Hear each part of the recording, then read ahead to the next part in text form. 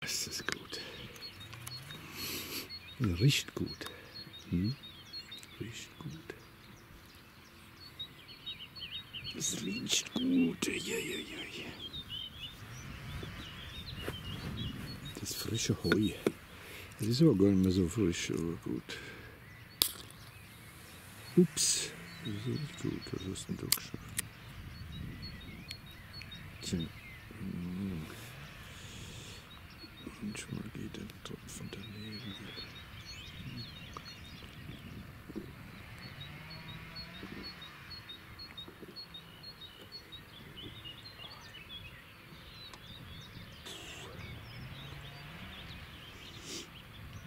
Oh ja.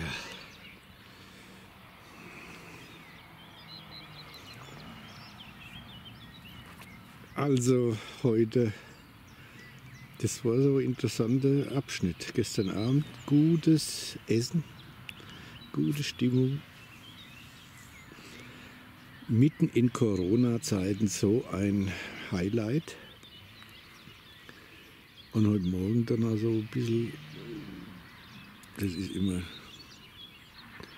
der Wein war halt doch nicht so. Oder ich bin halt auch nicht so, genau. Jedenfalls war das nicht so gut. Das Erwachen war dann nicht so gut. Und dann habe ich mir verschiedene Filme angeguckt. Verschiedene Filme auf meinen Informationskanälen.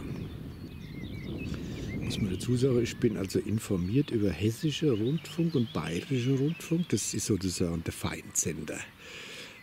Sehe ich so als Volksempfänger. Den höre ich mir dann an, du weißt Bescheid, was der Graf und die Herzogin oder wer auch immer von uns wolle.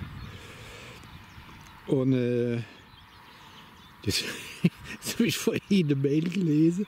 Dem habe ich eine Mail geschickt, die ich wiederum, äh, einen Link geschickt, wo ich äh, auf zufälligerweise auf eine Seite gekommen bin, wo einer in eine, der hat gefilmt, wie er in eine Verkehrskontrolle neu kommt. Der Polizist fragt ihn, wo er hinfährt und was er da macht. Und da hat er gesagt, was das den Polizist angeht. Und darauf wieder der Polizist gesagt, das wäre also keine gute Antwort. Er muss ihn jetzt untersagen, dahin zu fahren.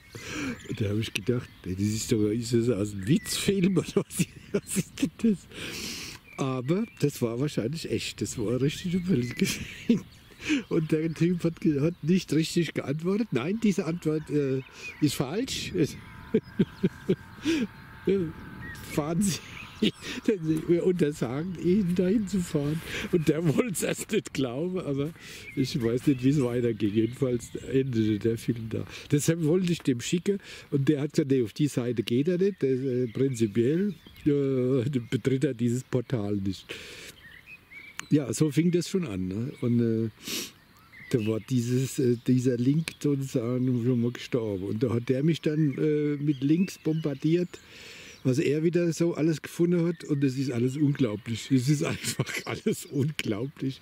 Äh, sagen wir mal, wenn das zu meiner Schulzeit oder Studentenzeit jemand gesagt hätte, obwohl, ich habe letztens mit meinem, habe ich da am Telefon gesagt, wisst ihr, das hat bei uns schon damals angefangen in der Studentenzeit, wo sich da, da wurde extra einer eingestellt an der Uni, der denn das, was die Studenten von sich geben, in Schriftform äh, liest und zensiert. Ja. Das haben wir extra eingestellt. Wahrscheinlich hat außerdem hat das keiner gelesen. Ne? Aber der hat es gelesen und hat seine Kommentare abgegeben. Da waren wir natürlich, oder ich habe ja nichts geschrieben, aber die anderen waren da eigentlich auch ein bisschen gebauchpinselt. Ne? Kümmert sich wenigstens mal einer, auch wenn er ihnen dann anschließend verbietet, dass sie das nochmal sagen. Es ist kaum zu glauben. Ja, auf jeden Fall damals hat das schon aufgefallen. Das habe ich dem auch gesagt. Also, die hatte aus der Recht, das fing damals schon an und noch früher. Okay, die Zensur, eine Zensur findet nicht statt. Genau, wenn das schon irgendwo steht, weiß man Bescheid. Gell? Und keine Mauer bauen oder wie das geht. Okay, und äh, ja, und da hat er mir seine Links geschickt und Da war dann wieder der eine dabei vom dritten Jahrtausend.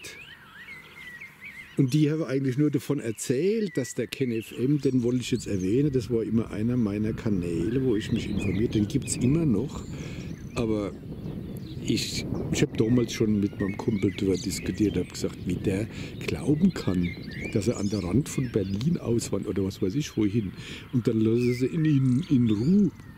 Oder umgekehrt, wie er jetzt glauben kann, dass er irgendwo ins Ausland geht und es wird besser. Das ist doch genauso. Äh, den Janich lassen sie halt rumhupsen, den habe ich mal heute auch gehört mit seinem Beitrag an die Familie. Weil er halt auf einer Insel hockt und da kriegt er so und so irgendwann der Gar ausgemacht. Das ist doch vollkommen klar. In der Philippinen, da war ich auch. Das ist, die hatte, glaube ich, mal einen Rock'n'Roll-Sänger als, oder zumindest hat er so ausgesehen als, äh, als Präsident. Also, das ist doch vollkommen hopeless. Das, da muss ich da nur die Stimmung drehen, da ist er doch da auch gefrühstückt. Das ist doch kein Rückzugsort oder so.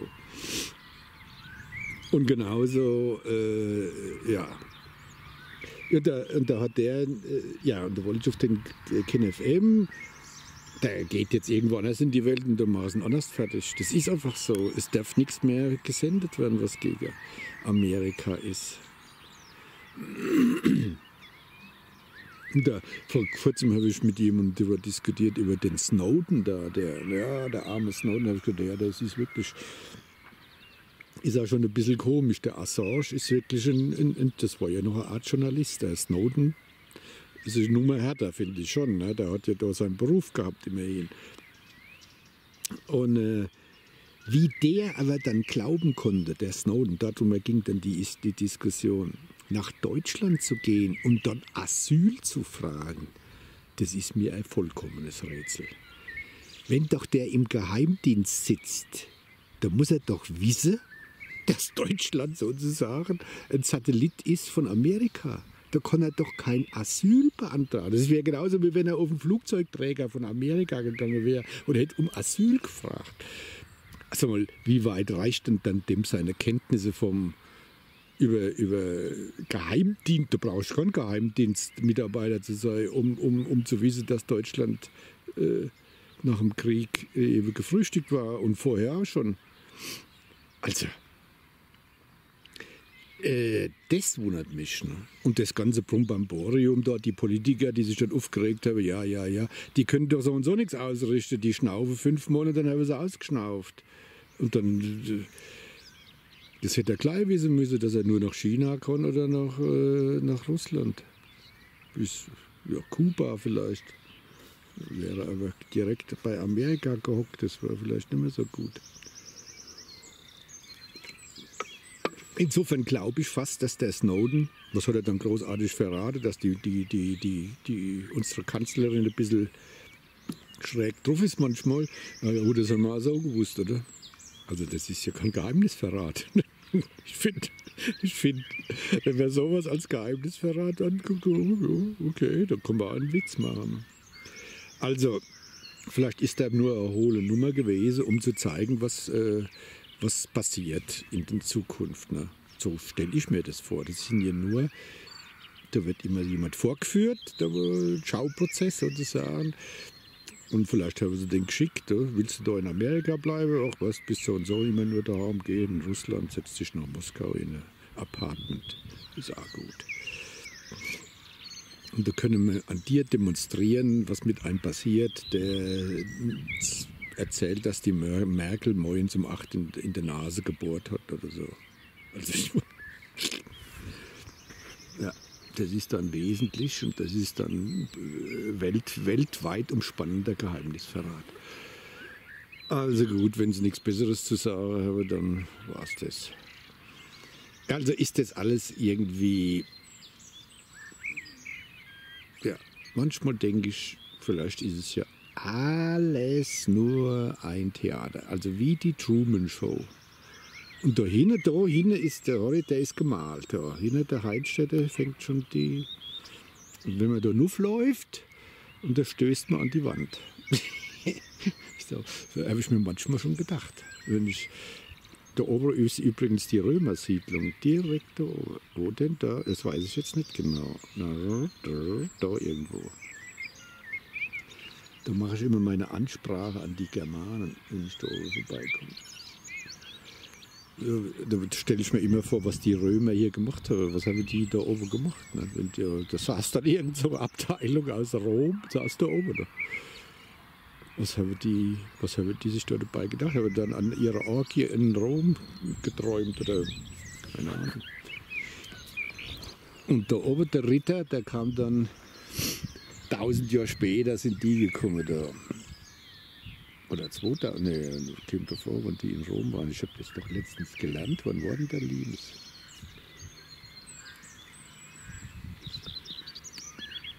So habe ich wieder vergessen. 300 nach, glaube ich bis 300 noch, oder? So irgendwie.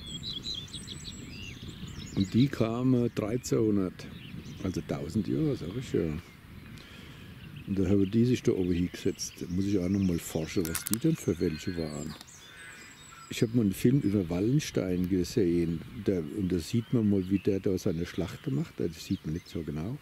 Aber da sitzt er in seinen Burg, die habe ich letztens übrigens besucht da, das habe ich letztens schon mal erzählt. Ja, ich weiß äh, Friedland. Sehr schön, waren wir oben auf der Burg. Und, äh, und in dem Film kommt aber die Szene vor, wo der da mit seiner Gischt am, am offenen Kamin sitzt und seine äh, geschundenen Glieder da wärmt. Da denkt man schon, also gegenüber denen hat man schon heute, wenn der, wenn der Öleofen anspringt oder äh, der, o, der Holzofen, dann ist das schon eine feine Sache, wenn die Heizung funktioniert im Winter, meine ich. Ne? Also ist schon gut. Ne? Ich denke ich mir dann immer, wenn man so ein Haus hat, also ich bin, äh, ich bin ja immer so grundsätzlich ein Haus, wo das Dach dicht ist und wo der Keller nicht feucht. Ne? So, das war so ungefähr die Grundtendenz meines Vaters. Und da hat er vollkommen recht. Und dann darf es natürlich nicht wegrutschen. Man hatte immer Angst, dass es fortrutscht vom Berg. Das sind so grundsätzliche Sachen. Wenn das da ist, ja, was will man da noch mehr? Ey? Das, was die anderen mit ihren Häusern ausstellen und dass sie da zehnmal eine neue Küche brauchen und fünfmal einen neuen Fernseher, das ist doch alles vollkommener Quatsch. Oder? Ah ja, sicher. Die wesentliche Sache ist ein Haus, was, was diese grundsätzliche Sache erfüllt und dann eine Wasserversorgung. Ne? Ver- und Entsorgung. Dann brauchen wir eine anständige technische Versorgung. Die haben wir ja. Und dann ist alles gut. Dann geht es einem schon, das sind schon fast paradiesähnliche Zustände. Und das Rest Schnickschnack, wo die anderen dann die Probleme machen, das ist eigentlich nur vollkommener Hirnriss. Da muss man sich nur fernhalten. Fernhalten von den Gartenzwergen und alles ist gut. Ob das jetzt gelingt mit dem Corona, es ist ein Moment erreicht, wo ich glaube, es ist jetzt es ist jetzt passiert. Es ist passiert. Oh Jesus, nee, oh Jesus, nee, wann das berichtet. Das dritte Jahrtausend, die sind auch gut, ne? Haben sie vom KNFM erzählt, von dem seiner Flucht. Und den selber habe ich gestern Abend mir angeguckt noch. Da regt sich immer so schön auf. Ah, der Janisch hat Abgesang gemacht, der, der KNFM. Es geht jetzt praktisch dem. Es wird abgeschaltet. Und dieser Verkehrsraudi, äh, also was heißt Raudi, der ist rausgewungen worden und hat, der hat keine ordentliche Auskunft gegeben, wo er hinfährt. Wir sind, wir sind eliminiert. Es ist kaum zu glauben, oder? Da lacht auch da drüber. Da wird jetzt genossen. Aha, Hauptsache wird noch nicht geschossen. Das ist schon mal gut. Es kann noch kommen, das stimmt. Warum auch nicht? Das, das wird man danach noch absegnen sagen, ja, äh, war zu viel äh, Lärm. Also nach dem, was hier läuft, äh, halte ich alles für möglich.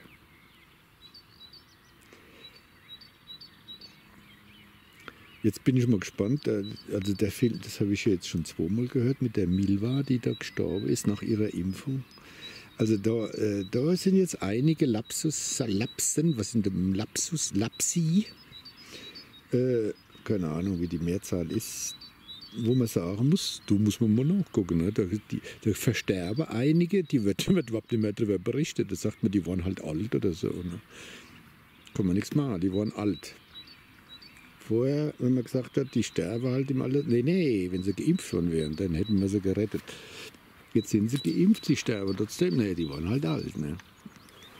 Du mal den, den, diesen Quacksalbern, den, wenn man denen nicht mal das Handwerk legt.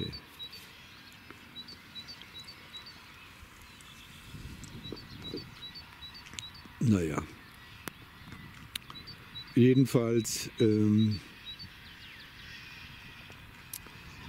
die haben heute so vom Leder gezogen, das dritte Jahrtausend, dass ich glaube, die erleben nicht, nicht mehr, mehr des nächsten Monat. Da sind sie weg. Das hat, das hat sich heute schon nach Abgesang angehört. Ne? Die machen auch dicht. Es hat sich fast so angehört, dass sie ein bisschen beleidigt sind, dass sie noch nicht abgeschaltet wurden. Da sind sie nicht wichtig genug von YouTube so ungefähr. Da haben wir sie nochmal richtig auf den Sack gehauen jetzt. Und dann werden sie wahrscheinlich abgeschaltet irgendwie. Ich meine, wenn sie mich schon abschalten, ne, also zumindest gedroht haben sie. Und ich habe praktisch 20 Fans. Und da sitzt einer, der findet es notwendig, mir mitzuteilen, dass ich äh, mich nicht korrekt äußere. Kaum zu glauben, kaum zu glauben. Ja, wo willst du das jetzt wieder veröffentlichen? Stimmt. Weiß ich nicht. Habe ich was Falsches gesagt oder habe ich was Richtiges gesagt? Eigentlich hast du bisher nichts Schlimmes gesagt. Oder? Nee, hast dich nicht geäußert. Du hast nur berichtet. Ja, mehr war es nicht. Ach, dann war noch also ein- eine Bemerkung zur Inzidenz. Das ist ja mein Steckenpferd. Inzidenz, da dachte ich, ich kenne alles. Aber da ist mir doch wieder vor Augen geführt worden, dass ich da auch nicht ganz richtig, also man denkt, man denkt immer, man hätte gedacht und dann kriegt man vorgeführt, dass es, das, das heißt doch immer, äh, die Anzahl der gemeldeten äh, Fälle innerhalb von sieben Tagen auf 100.000 Einwohner. Und da bin ich hergegangen und habe halt den Odenwaldkreis genommen. Der hat zufälligerweise so un ungefähr 100.000. Und habe dann gesagt, naja, da werden sie halt da so, so, Region und dann zählen sie da in der Region. Aber was machen die, wenn sie nur Dorf zählen? Das hat der dann gefragt. Ne? Oder da haben sie eine An Anfrage an die, Re an die Regierung gestellt. Die wusste die ja nicht Bescheid. Äh, ja, weil, äh, weil dann kommen ja die, die, die Bezugsgröße 100.000 stimmt dann nicht mehr. Ne? Also wenn man jetzt in so einem Dorf allein, wenn man ein Dorf zum Hotspot erklärt, wie geht denn das? Da erreicht man ja die Inzidenz gar nicht. Ne? Da wird die hochgerechnet, hat der dann erklärt. Äh, ist mir gar nicht klar gewesen. Natürlich muss er das hochrechnen. Dann hätte sie eine Bezugsgröße zwar, aber die Bezugsgröße der Tests, die geht nicht ein. Also die eigentliche Bezug, die geht nicht ein in die Rechnung.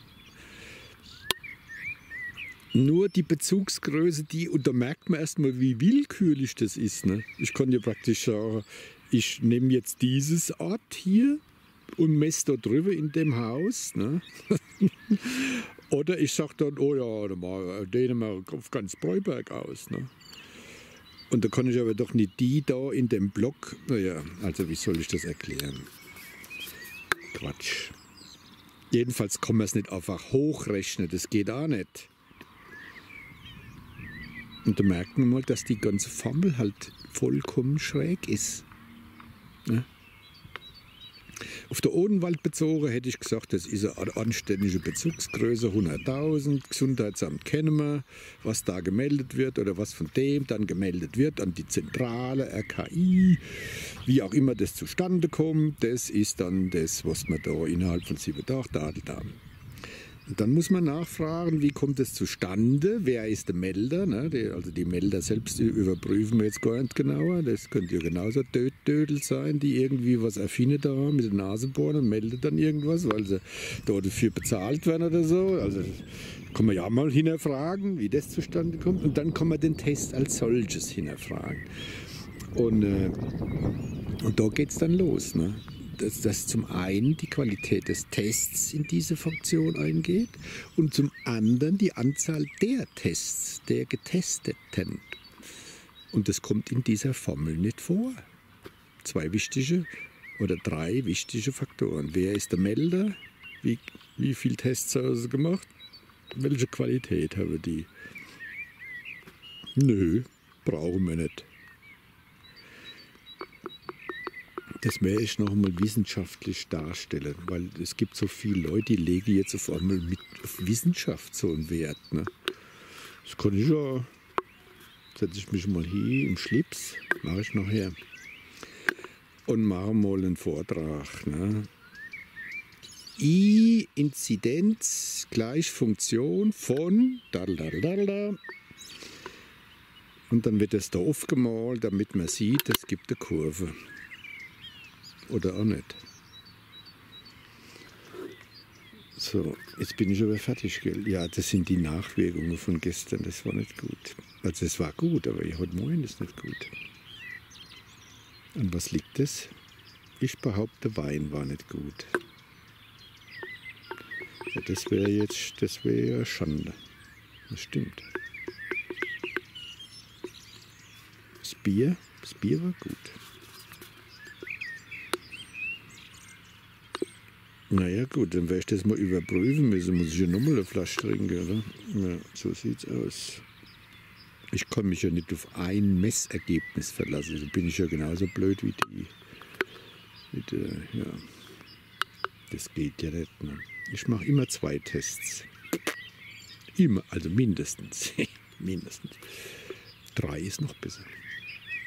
Dann rät man langsam selbst wenn der Test nicht so gut ist, in die Region, wo man sagen die Statistik sagt, jetzt kommen wir langsam durch, wo wir was aussagen können. Dreimal positiv oder dreimal negativ. Schon ein Unterschied. Ja, ich weiß, positiv. Es geht um, mir geht es um die positive, den anderen geht es um die negative. So und so blöd wie das andere, ich weiß. Nee, die Negative sind nicht blöd, die Positive sind blöd, also blöd. So, wo sind die Schafe? Keine Ahnung, sind nicht da. Jetzt habe ich meine Maske vergessen, das ist zum Kotzen. Ne? Jetzt kann ich nicht einkaufen gehen, weil ich keine Maske habe. Oder ich müsste irgendwo hingehen, wo ich mir erst so ein Ding da kaufe. Diese dummbauzigen Dinge. Ich gehe aber mal nur, vielleicht ergibt sich irgendwie eine ganz andere Lösung. Vielleicht steht einer da und macht mittlerweile so einen Bodendienst. Das könnte auch.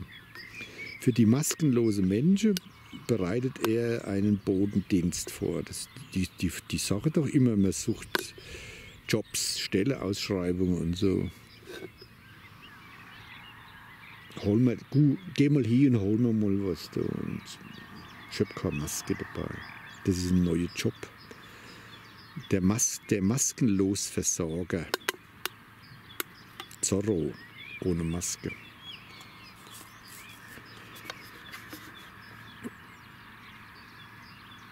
Ach, da habe ich noch einen Film gesehen, wo sie in Berlin sind. Oh Jesus, nee, da habe ich schon auch gedacht, lass Glück, dass du da nicht bist.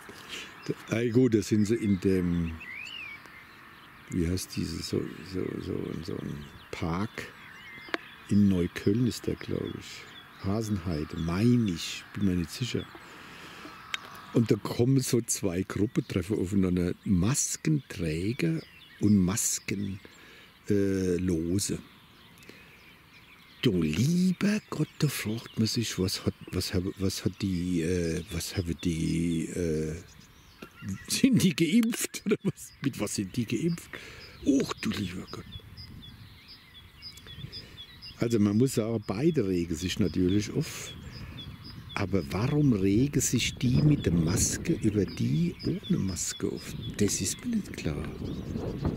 Die müssen doch da nicht hingehen. Die belästigen doch niemand. Und da regen die sich auf, weil die sich untereinander anstecken können, oder wie? So eine faule Nummer, wo gibt es dann sowas? So fadenscheinige Dummbauts. Aber damit wird argumentiert, ne, dass die keine Rücksicht nehmen, sich untereinander treffen und sich anstecken. Schlimm, schlimm, schlimm, ey. Wenn man so weit ist, dass man die Leute so weit hat, dass man sagt, also ihr nehmt keine Rücksicht, weil ihr euch selbst gefährdet. Und damit die anderen. Könnt ihr einer, wenn du von, von der Burg runterspringst, ohne stehen. Das stimmt sogar. Ich will hier gar nicht springen. Oh, was ist jetzt? Wo kommt denn da was? Hat er, hat er einen Kommentar abgelassen? Ja klar. So, jetzt was machst du? Ja, ich, ich mache, ich schicke so Pferd neu da. Da gab es doch mal so ein sprechendes Pferd im Fernsehen. Ne? Jetzt bin ich mal gespannt, was ich da mache. Könnte ich da durchrasen? Tak, tak, tak. Schmeiße das Geld über den Dreh und bin schon wieder weg. Wie ein geölter Blitz. Das ist aber Gefährdung der Anderswelt. Dabei bin ich jetzt praktisch schon zwei Jahre lang in Quarantäne. Es kann mir überhaupt keiner was anhaben. Oh, das zählt aber nicht. Warum zählt das eigentlich nicht? So weiß ich, das zählt nur, wenn es zählen soll. Ne? Da gibt es jetzt mittlerweile gibt's neue Richtlinien. Das heißt, die Richtlinie heißen, früher hieß es so, der Papa hat immer Recht. Hat Papa einmal nicht Recht, tritt Paragraph 1 in Kraft. Und jetzt heißt es halt äh, Paragraph 1, die Mama hat immer Recht. Hat Mama nicht Recht, Paragraph 2, tritt Paragraph 1 in Kraft. In der Schleife befinden wir uns. Das, das, war damals noch als Witz gedacht. Du siehst mal, wie sich die Zeiten ändern. Ups. So ist das schön. Ja? Ist, das, ist das nicht ein wunderbarer Baum? Wer hat den denn da hingestellt? Extra für dich. Stimmt das? Für mich? Ja, wunderbar, das Fotografie stimmt. Extra für mich. So, das war's.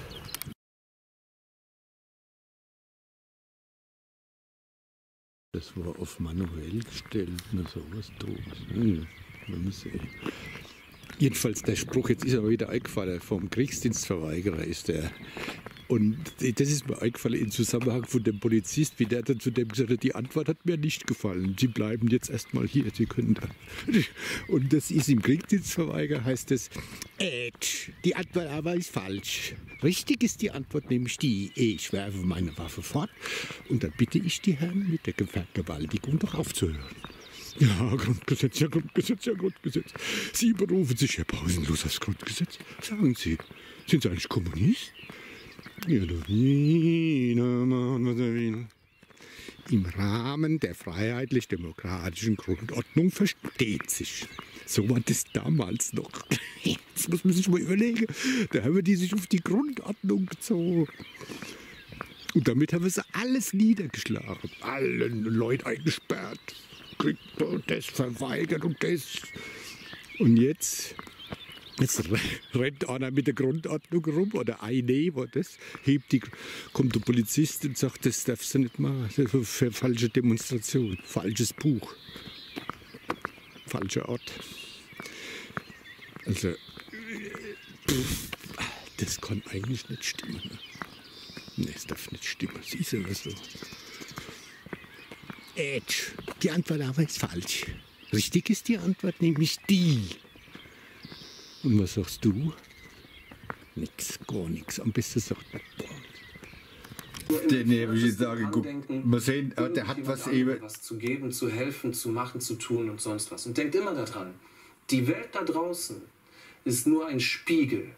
Sich über ein Spiegelbild aufzuregen, bringt gar nichts. Naja, gut. Das, was verändert werden muss, nee. ist das, was vor dem Spiegel steht. Naja. In dem Sinne, Achso, der ist ja fertig.